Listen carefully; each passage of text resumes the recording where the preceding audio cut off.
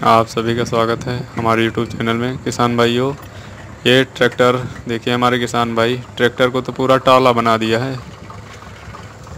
ये देखिए किसान भाइयों, कहीं जगह नहीं छोड़ रखी है, कहाँ कहाँ पर नहीं लाद रखा है। ये आप धान की नर्सरी की बेरन है, मुट्ठियों को इतना लाद रखा है कि खुद खड़े होकर ट्रैक्टर चला रहे हैं, बैठने की जगह भी नहीं है। सीट पर भी रख दिया है, बोनट पे भी रख दिया है, कल्टीवेटर भी रख दिया है।